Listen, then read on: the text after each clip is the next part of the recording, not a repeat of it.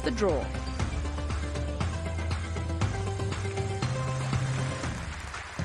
Dear guests and all of our viewers watching around the world, it is the moment you've been waiting for. It's now time for the start of the draw for the FIFA Women's World Cup, Australia and New Zealand. Australia.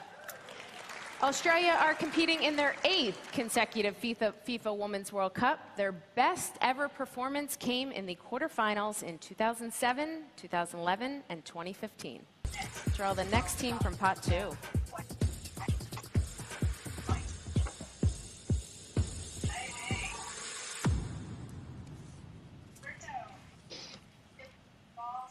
Canada.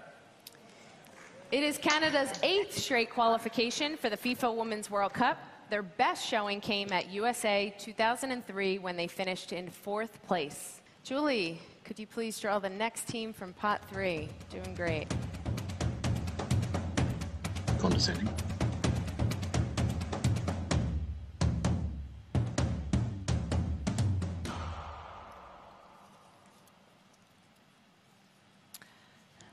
Republic of Ireland. There we have it. What an opening World Cup fixture for the Republic Debut opening of game. Ireland. Jeremy, could you please draw the next team from pot four?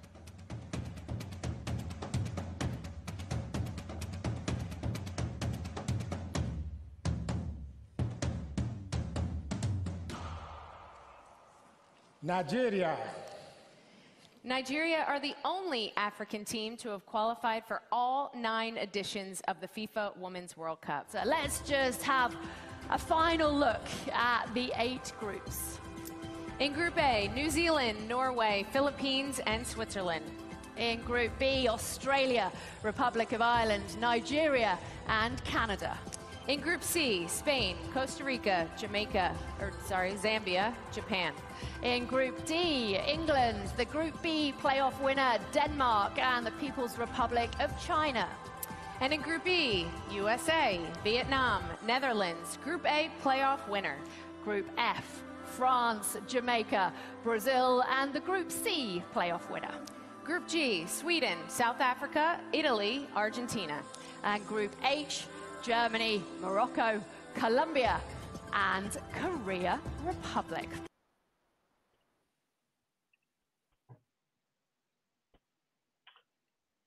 Hello, everyone. Welcome to the reaction and discussion of the 2023 FIFA Women's World Cup group stage draw. I'm joined by Melissa Andreatta, Matilda's assistant coach, and also current player Tameka Yallop.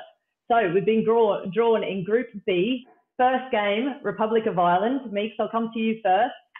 Just your general thoughts on who we've come up against. So we've also got Nigeria and Canada who have played recently. Yeah, I think um, it's always nice to have played uh, teams in recent times. Um, you do get a feel for what you're coming up against.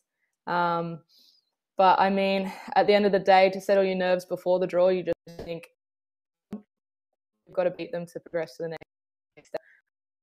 I think I'm excited to to play each of the teams, and I think, um, uh, yeah, of course, it would be exciting to to have them again.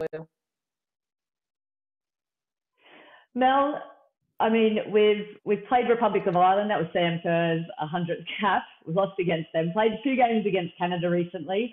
What are your thoughts on our opponents in Group B?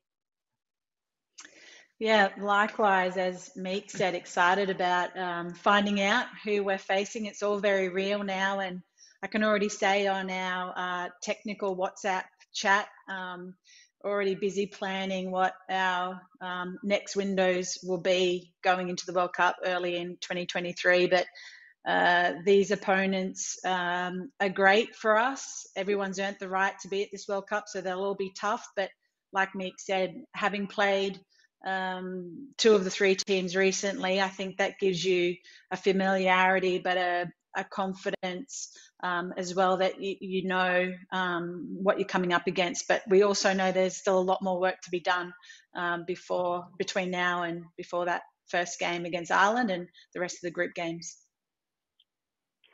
Yeah, well, we'll dive a bit deeper into that first game against Ireland. But first, get your questions in on all digital platforms for the panel, for Tameka and for Mel as well. Shoot them over to us. We're going to be joined by head coach Tony Gustavsson later on and also Matilda's legend Julie Dolan, who have been at the draw. Okay, let's talk about the Irish pubs in Australia. They're going to be packed for that first match. But we've also got teammates, Katie McCabe at Arsenal, teammate of Caitlin Foord and Steph Catley. Meeks, I'll come to you first. Republic of Ireland, how, how are we going to approach this game? Yeah, look, I think uh, as you mentioned, they've got some quality players um, in their lineup and and players that are playing in in the best leagues in the world. Um, at the same time, so do we, and I think competitively, it's a great matchup. Um, we have we have played them in the past, and um, I think that was a close game in itself, and and it's World Cup, so anything can really happen. Um, but yeah, I do think we are putting a strong foot forward against them, and um, on home.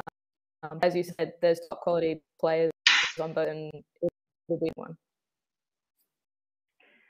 Mel, huge football fan. We're all football fans here. Let's just go back to the fun part of it. I mean, there's going to be a huge Irish contingency at this game, isn't there? You know, we're going to have the majority of the home fans, but the Irish are going to come and they're going to be loud and they're going to make themselves known.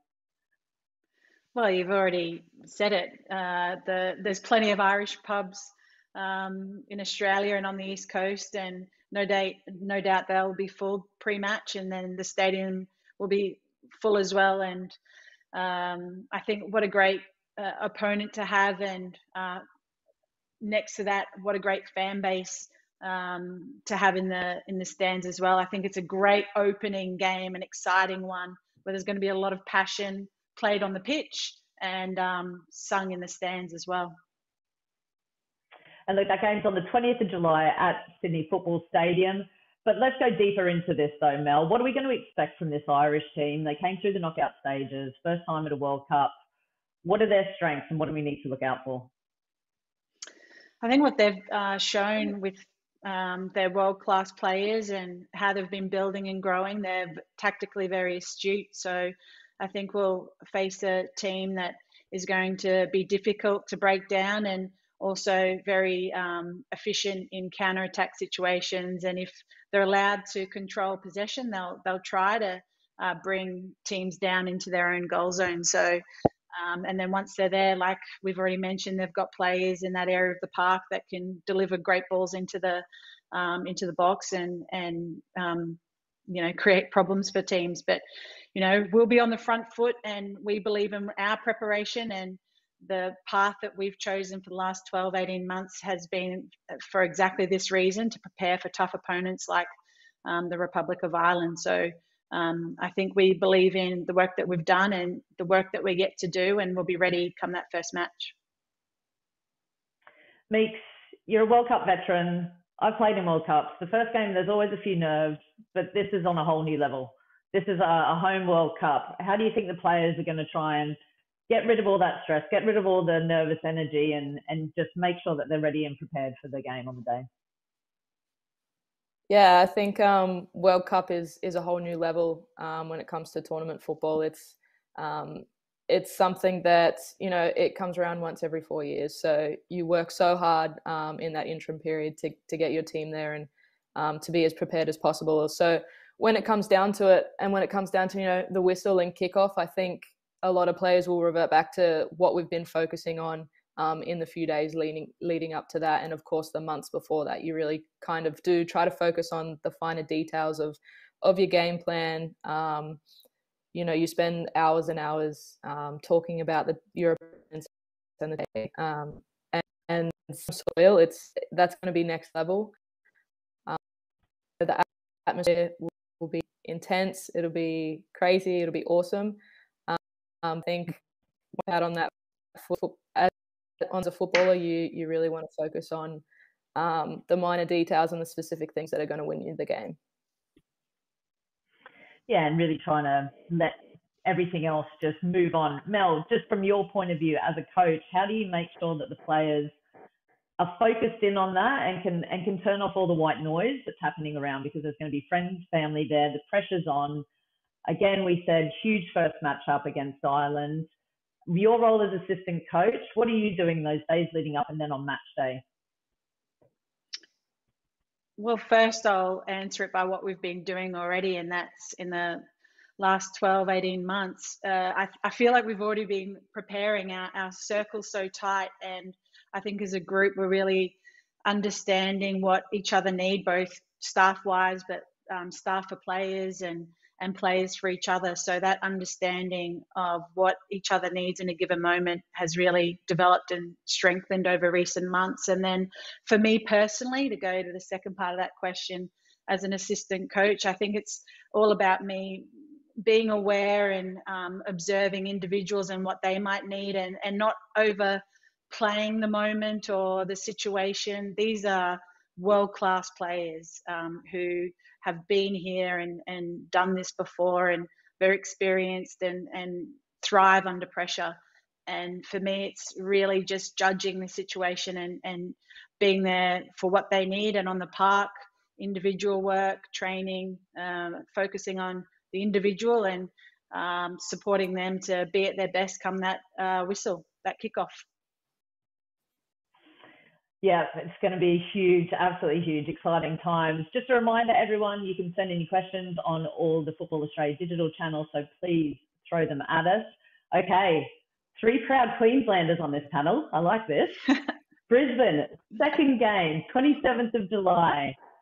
Brisbane Stadium, we're playing against Nigeria. Meeks, Come on, this is giving me goosebumps already. We're that far out. I'm sitting in the middle of Bedfordshire and I can't wait for this game in Brisbane. How are you feeling about it, Meeks, already? Yeah, I think um, as we kind of, you know, second game would be in Brisbane, it, it definitely sparks something, some a great deal of excitement, and I guess yeah. Um, if there's more pressure that comes along with that, you know, it's it's pretty close to home. Um, and obviously really close to the heart and, and where I've done a lot of my football growing up. So um, for me, it's it's super exciting and and I think yeah, the atmosphere that we're going to have there playing Nigeria is just going to be uh, crazy, intense, and awesome. Um, so yeah, I'm really looking forward to that game. Mel, I'm sure you're familiar with Caxton Street. I mean, Caxton Street on a match day for any sporting event is pretty special, isn't it? Us Queenslanders mm-hmm. know what it's like. Can you just describe what the atmosphere is going to be like. Because also, when you think the Nigerian fans, they're always singing, they're dancing, they're loud, they're proud. What are people, what are the mm. fans going to expect when they descend on the Caco or Caxton Street on match day? Yeah, look, that's the place to be. Uh, everybody, make sure you're there um, pre-match, well and truly early, and I don't know, in the past they used to close that street off. And to any government officials out there that are listening, I suggest we do that again so we can really get the party um, atmosphere and vibe happening. But it, it's cross code. That that street is a, a sporting icon where um, we prepare for battle um, and walk into um, Brisbane Stadium and then celebrate afterwards um, in the street as well, and um, a lot of good memories there. Even going back to Brisbane Roar uh, times as well, but uh, cross codes, lots of good memories, and um, it's uh, certainly a place for celebration and um, bringing people together. Makes you have family and friends there. It's it's just an added special moment, isn't it? Playing a World Cup, own home soil is great, but in your hometown is just another level, isn't it? Yeah, definitely. I think um, just knowing that possibly you know half the people in my um, as you know um, it's going to be amazing. Yeah, to have them all there, and and I think one of the main points of of having you know on home soil is to inspire the next um, generation, and and I've got plenty of nieces and that I know will be watching me and, and cheering so loud. So, um, and not to mention as well. Um, yeah, I have goosebumps thinking about that game. And Mel, again, let's let's dive into the technical details and, and what we're mm. going to come up against um, in Nigeria. Tell us about them. I think um, you know we played South Africa uh, recently, and um, they've finished fourth uh, in the African Cup of Nations not long ago, and you know, they have world class players as well who are playing in um, top Spanish leagues and um, goal scoring threats. It's a team that's going to be very physical, um, very athletic, uh, and a team I think that will use that athleticism and physicality to try and transition on us. Yeah, and Mel was just just um, mentioning Asisat Oshoala plays in the Spanish league. Incredible striker. Has had a few injury worries, but she's a huge threat to our defence. Meeks, what what are you expecting from her? Yeah, I think um, obviously it is is definitely a huge threat, and I think also kind of the unpredictability of of um, you know when they execute um, that transition and and how fast they can do it um, is something that is going to be a major threat. Uh, at the same time, it's nothing that we haven't come up against before, and we know already that that's something that we're going to have to deal with and that we've been training for and and you know that sort of thought process goes um, into our training and into into what we do each day on the park is is you know if we're in possession how we set up for a quick counter attack and and all that kind of th- of of stuff so I think it's definitely a real threat um, and something that we're aware of and and yeah um, looking at sort of countering um, every day walking into the World Cup. Mel, just want to ask you, what's the balance of focusing on our own performance and our own tactics and, and dealing with what you're going to come up against in the opposition? That's a really good question, and I, I don't think it's one where I can give you a certain percentage or, or ratio of what the focus is or the balance, but philosophically and our principles are that we focus on ourselves first and foremost and what our strengths are and the strengths of our players and how we um, allow them to shine and um, execute the game plan against the opponent. Now, of course, that balance comes into play when you know an opposition team has, um, you know, a, a, certain style of play or key players.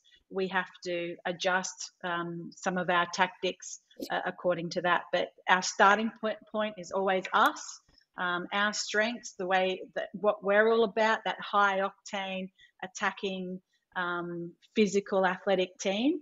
Um, and then look at the opponents and, and what we need to uh, contain or what we can expose even more with our strengths. And just to follow up on that, Mel, because there has been some tinkering with tactics and, and formations and and but leading into this World Cup, is is there is that something Tony wants to maintain more of a consistent approach with starting eleven? I mean, we've seen Sarina Wiegman with the England team had the same starting eleven. She had the same four or five mm. subs.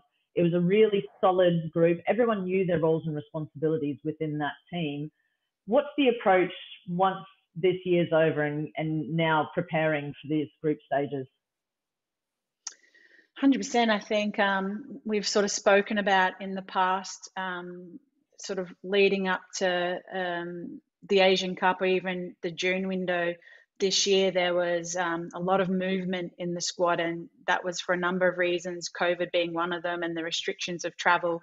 But what we've um, we've always aimed to do is to have it, um, our best players, informed players uh, who are performing available uh, things like injuries, um, and also, you know, we need to give our players a, a break at some point as well. Ha- have meant at times, um, or a lot of times recently, we haven't had the player availability that we'd like that we've seen from England in the Euros, but uh, with our planning and, and all the work the players are doing with their clubs, our Triple SM team with clubs as well, we think our player availability is is going to improve, and alongside our um, focusing in on um, a group that uh, you know we want to keep growing with and, and building towards the World Cup. That that door is slightly closed a bit more to to new or um, players. It's not totally shut. Performances will still, you know, um, be rewarded, but it's about getting that continuity and all those factors come into play when you're you're, you're trying to select a squad. Um, it's always been our, our focus, but um, different factors have, have come into play. And speaking of injuries, Meeks, you've just had surgery on your ankle, and exactly like Mel said, you know, this year, they're, they're not. We've we have suffered from these aren't minor injuries. There's been quite a few Hmm. major injuries within the squad. For you personally, Meeks, just tell us about what's happening with your rehabilitation and and how you think of that as a player and, and what you're seeing with your teammates around you and injuries. Yeah, um, I guess it's it's always tough. Um, injuries are unpredictable, um, and yeah, depending on severity, you you just don't know how long you're going to be out for. Um, thankfully for me, my um, post surgery recovery um, and back to play is around three months, so um, I've got the time and obviously the motivation and the be back um, cup. Um, just know how things are going to heal and and rose. So um, it's a day a day process, and I definitely feel my teammate, as you said, yeah, a few major long term injuries um, within the last um, year or so. So we've experienced that, that each other, and um, we do, do very well, I think, and and our team culture is to none um, with the environment that we've created for for everyone to feel to feel safe to be to feel a part of the team and and to also create that environment where if there are injuries the players that do come in are, are welcome and um, you know feel a part of the squad just as much as you know an injured player or a starting player. So i think the environment that we have in the matildas is um, allows us to sort of um, roll with the injuries that we get um, help each other get back to to the best form that we're in and, and lift up others around us as well. So um, despite yeah the unlucky injury sort of situation, I'm still in the best sort of position that we think that um, down to the culture created. Yeah, look, if we're going to have all those major injuries, you kind of want to have them in the year before, don't you? So we can keep everyone fit going into the year of the World Cup. Um, we're going to cut over to Auckland now. Julie Dolan, Matilda's legend, has joined us been on the draw. Julie, what was the atmosphere like? Great, well done circling with the balls in the pot. Extraordinary work. Clearly been practicing that for years for that big day. Um, first of all, just give us your thoughts on our group, Group B. We've got Republic of Ireland, Nigeria, and Canada. Yeah, I, Good work, darling. oh, Kat. thank you, See thank you. um, yeah, I just want to know what everybody else thinks about the uh, the group first and foremost. But um, look, the atmosphere and um, you know, I, I feel uh, that these uh, the Matildas these days may have uh, witnessed, you know, exactly this sort of scenario, but um, it's massive. It's huge. There's there's people on the ground everywhere. There's teams in their hundreds, and um, the excitement now. Now that the stage is set, you know everybody knows what they're up against. Um, it's it's just gone off. Julie, just back to you. And I heard someone ask you this question earlier on. Ever in your lifetime, did any of us, I think, ever imagine that we'd be hosting, co-hosting a World Cup on home soil? For you as a former Matilda, what are your emotions surrounding that? Uh, I don't know if you saw me speak on stage, but uh, I was having trouble holding it in.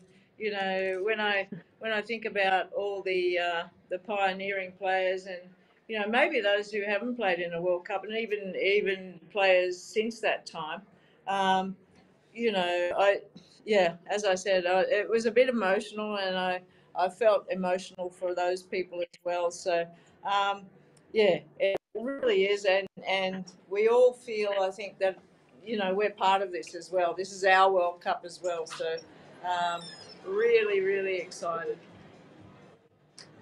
Julie, we were just saying um, how the Irish contingency and all the Irish clubs are going to be absolutely going off in Australia for that first game, aren't they?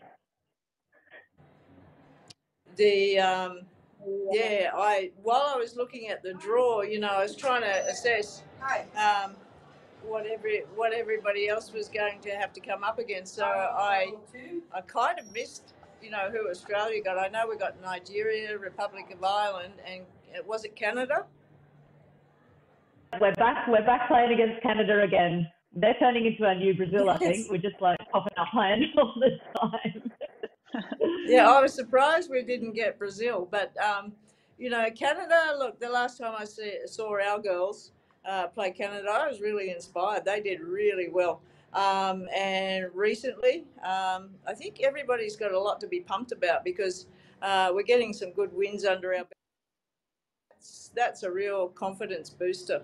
So uh, I'm I'm I'm not sure, but I'd be thinking if I was, um, you know, you don't want to stroll through to the next round because you know you need to sort of have a couple of good games under your belt so that you you know what you're up against. Yeah, I'll just throw to Tameka quickly on that. Meeks, you as um, as a player, and obviously you've got three games, but the first game is really important. Get off. As a player, approach it? Is it all focused on that first game, just with the others in the back of their mind? How do you approach it? And how does the squad approach it? Yeah, I think so. I think we'll we'll obviously look at each team um, individually and and do sort of our background and and make sure that we have a good foundation against um, the three teams that we know we're playing. Um, but yeah, as soon as you know it gets it gets closer to kick off, the focus definitely does go to the first game. And um, at the end of the day, you've got to beat who's in front of you at the time um, to sort of get those points and progress. Yeah. So, um, first game will definitely be front of mind for us. Yeah, can well, I, can I Julie, just ask... it's been great. Have... Yeah, go for it. Go for it. Jump in. Yeah, yeah. I just, I just want to ask Tameka and Mel, you know, how they feel about the the draw. Do you want to? I'm excited. like uh, Meek said, um, everyone's earned the right to, to be at this World Cup, and um, if to be the best, you have to beat the best. And um, we'll focus in on that first game, but um, I think it's a, a great um, challenge for us for great challenge for us to really start um, preparing for now that we know exactly who we're facing. Yeah, it's like it's like you know the unknown becomes known, the stage can be set, yeah, and, and homework can be done. Yeah, so. Yep, hundred percent. We were just saying yeah. it's already flying around in our chat. We left some spaces free in the sort of um, FIFA windows next year, and um, yep, it's been it's exciting. We're trying to finalize those plans. And Tameka, well, Julie, we'll let you go. Oh, sorry, Jules. Yeah, go on, Meek. Sorry, jumped in there. Tameka. Oh, I think yeah, yeah. Um, I'm obviously excited. It's um, it feels like it's finally here now. Knowing so, of course, there. Why not? You've got to beat the best to be the best. So um, yeah, I think our group is an exciting one. Hey, listen, thanks everybody for having me on. I wish you could actually be here as well, um, you know, to sort of celebrate and, um, you know, but look forward to seeing everybody back in Australia. Julie, thank you so much. And just quickly, just on behalf of former Matildas, current Matildas, you're a legend. Thank you for being a pioneer. We're so proud of you and fantastic to have you representing us and the Matildas at the draw. Enjoy the night. Thanks, guys. Bye. what a legend. Love Julie. Absolutely love. Um, look, the, the excitement's already building. We're still, what, eight months away. Um, how, how are we going to temper that? Because now it's got to be, it's, we've got to enjoy the moment, don't we, Mel? And then it's got to be back to business as usual. I love the fact, insights into your group chat with the coaches. What's going on there? What's the thought process? Planning's already started. Yeah, I mean, it's, I keep saying I sound like a broken record, but we feel that we've been preparing um, already, making sure that We've um, played as many uh, unique and top ranked nations as we can in the last 12 and 18 months. But again, knowing specifically who we're going to face in the group stage, uh, that gives us that real focus. And um, yeah, uh, the chat has been all about the, the one or two spots um, that we had free in FIFA windows next year. Who, who do we want um, to fill uh, them? And it's, it's been um, based on style of play and and I think um, uh, you know that's all being discussed now. I can't sort of look at it because I'm I'm here, uh, but there's definitely a lot of pop-ups about what we're doing in, in that space, so that um, the first six months of next year um, preparations are on point. yeah, look, we'll come back to talking specifically about Canada, and we've got Tony Gustavsson's probably about three or four minutes away, so we'll have a chat to him. But let's see what the other groups are doing. Hey, um, we were having a chat before. Mel, what what else jumps in and uh, jumps out at you from the other groups? I, think, um, I mean, it's bound to happen too with an expanded um, competition, an expanded tournament, but there's a real spread um, amongst the, the groups. And um, I guess one insight into it, the work we've been doing the lead up to this is together with our analysts, we, we tried to look at each group in terms of um, their toughness and, and base that on their current FIFA ranking. So, you know, right now, um, depending on the playoff, uh, playoffs in February and who wins that. But, you know, um, Group E could be a really tough group or a group of death. Group D as well could be. Um, you know, I, am sure there's a lot of discussion out there um, about, you know, which of those groups um, are the group of death, but just based on FIFA rankings, um, there's a lot of high ranked um, teams in those in those groups. Um, you know, and, and ours is going to be a challenging one as well. But there's also form. There's there's FIFA ranking and there's form as well. So a lot of factors um, to consider. But I think it's um, it's going to be an interesting group stage, an exciting one for everyone. Yeah, Meeks, I just want to ask you because I'm looking at Group G here. So Sweden, South Africa, who we played recently, Italy, who we played, came up against in the last World Cup, and Argentina typical South American style of football for the Argentinians. What are your thoughts on that group? Because I'm, I think that you know that's a that is a tricky group. I think all four teams definitely have their merits. Yeah, definitely. I, I would say that that's a tricky group. Um, it's always it's always hard when you when you get teams that are so passionate. Um, just based on their culture, it, it comes it comes out in their football, and I think that can kind of create an atmosphere that's um, that that makes things a little bit more in the field and and it is it makes it for exciting football um, but i do think that's a tough group um, giving the mixture in that group Amel, I mean, uh, we played South Africa recently at Kingsmeadow in London. You know, there wasn't a huge contingency of fans, but even all the delegates from the embassy were singing for the whole game. you know, the the passion and enthusiasm and and the party atmosphere from them in such small numbers was was pretty enjoyable, wasn't it?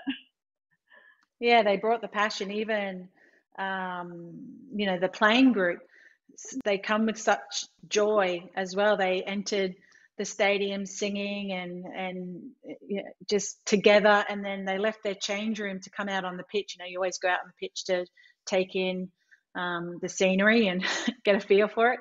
But they came out of the change room and out to the pitch singing and dancing again. And um, it's special. And this is what all of Australia is going to get to experience seeing how each nation approaches a game of football. And everyone's so different and unique. And we're, we're going to be able to um, celebrate the, that cultural diversity at this World Cup.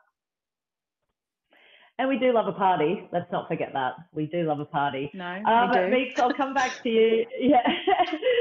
Meeks, how happy are you that we're, we don't have Brazil in our group for once? I feel like it's quite nice that we're kind of just, we're, leave us alone for a second. Yeah, it's almost like you had to double check. You're like, are you sure Brazil's not in our group? um, but, you know, I guess um, it's almost like uh, they're a little too familiar to us, and um, it's it's almost like we're missing them now. But um, no, you, look, I think um, the teams that we're up against is, is just just as exciting, and we might have a new rival in Canada as well. So um, no, I'm looking I'm looking forward to it. Um, and yeah, Brazil will be there. We'll be watching them and, and not playing them in the first in the first group stage this time. Yeah, like Canada are the new Brazil and Sweden. We're like them now. Um, now, just on that, so in Brazil's group, so that's Group F. France are there. France, like constant underachievers, underperformers. Let's be honest. We always expect so much from them. They've got amazing talent, technical ability, coming up against Jamaica and then Brazil, who are always tricky opponents. What are your thoughts on Group F? Yeah, it's uh, it's going to be uh, one that I think we see a lot of different uh, styles of football being played, but I think uh, France will be looking at that and thinking it's time that they um, get the business done and topping that group. I'm sure is going to be um, sort of an expectation that they have of themselves and and then going into the uh, knockout groups. But it won't be easy because um, you know we've faced Jamaica and Brazil recently, and um, you know world class players and um, you know tough brand of football to come up against as well. Yep, and uh, you know it'd be remiss of us not to mention Group E: USA, Netherlands, finalists from the 2019 World Cup. Meeks, I mean, two powerhouses of the game. Although Netherlands recently didn't perform that well in the Euros, got rid of their coach Mark Parsons, but still huge amounts of talents in that team. What are you expecting from Group E? Yeah, definitely. I think that's a, a, a, pretty tough group as well. And and as you said, Netherlands have had a lot of changes, but um, will you see those changes help them as a team? You don't know. Um, and I have seen teams in the past um, come out with a new coach and, and actually perform really well. Um, you know, they've got something to prove under a new coach and um, to themselves as well, and, and also to redeem themselves for, for past performances. So I think they will definitely be a team to watch. Um, and yeah, especially against USA, I think that will be a really good match. And Mel, let's go to Group A. Our co-host New Zealand, Jitka Klimkova, who um, coached in the W League with Canberra United. What are your thoughts on. Group A? So they've got Norway, they've got the Philippines, Alan Stajcic, former Matildas coach, very well known to most Matildas fans out there, and Switzerland. Yeah, it's interesting. I was watching um, the the broadcast, and um, a couple of times the footage panned over to Jitka, and there was some um, interesting sort of reactions there. And I'm not trying to read into it um, too much, but I think you know they would be um, backing themselves to give it give the group a really good shake and finishing in the top two. They've played Philippines recently um, and and have that preparation under their belts. And um, I think New Zealanders and Australians are a bit like that. You know that that mentality that on any day they can beat anyone. Yeah, and we we've seen. What are your thoughts, Meeks? Norway, you're playing in the Norwegian league, were until you until your injury, but again, you know, they've they've kind of been through this transition phase. Still got incredible players, Caroline Graham Hansen, who plays at Barcelona. I mean, they're still a difficult opponent to come up against, aren't they? Yeah, definitely. I think uh, when I saw Norway being drawn into into Group A, I thought, um, and and in second spot, I think I thought that's going to be a great opening.